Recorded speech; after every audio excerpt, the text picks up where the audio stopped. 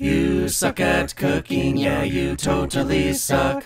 Today we're making a chicken salad sandwich, also known as tuna of the land salad sandwich. Chicken salad is a great thing to make for corporate gatherings or to celebrate the death of your loved ones. Making chicken salad starts with chicken. You can use any kind of chicken you want, including farm-raised chicken, you can use foraged chicken, you can use porridge chicken, you can use hoarder chicken, or you can use Mordor chicken.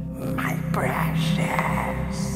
I'm using regular chicken, which I'm gonna pat dry, then season with flavor glitter and pepper, pepper, pepper, then cover with a thin layer of olive oil. Some people think painting chicken with olive oil makes you less of an artist than someone using paint on canvas, but I'm painting in three dimensions, so suck it, Picasso. Then we'll put it on a parchment papered pan and bake it for 20 minutes on 400. Baking it hot and quick makes sure it ends up juicy, as I have demonstrated previously. So juicy. So juicy. Now we're gonna pickle some red onion which takes them from Brillo pad abrasiveness to delightful sponge tastiness. We'll put a cup of water, one cup of vinegar, a tablespoon of coarse salt, a tablespoon of sugar into the lava maker. Get that bubbling, let it cool a bit, and then pour that over the onions and leave them for around half an hour or so until the red onions, which are actually purple, become this beautiful shade of pink, just like the prophecy foretold.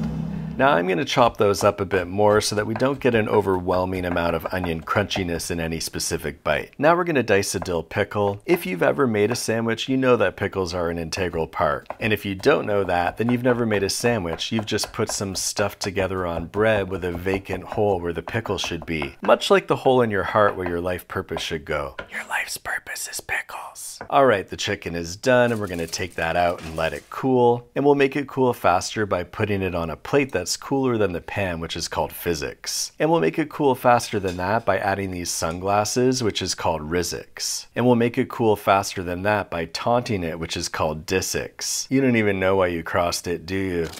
Damn it, too far. Now that that's cool enough not to melt my forks, I'll start shredding it, exposing as much surface area as possible. Okay, we're gonna start combining the chicken with the other ingredients, including the main ingredient, mayo. Now you don't want enough mayo to kill a horse, but you do want enough mayo to give a horse nightmares, meaning mares of the night, meaning the horse could trade the mayo for, uh, never mind. We'll add some more pepper, pepper, pepper, but we're gonna hold off on additional flavor glitter since we put a good amount on the chicken. And now for the part that really elevates this chicken salad sandwich to the next level, seasoning. Let's go to my seasoning cabinet and, ah, oh, I keep forgetting how white I am. Hey man, um, do you have any spices I can borrow? Like anything with flavor, maybe? Chicken salad. Sounds good, I assume. All right.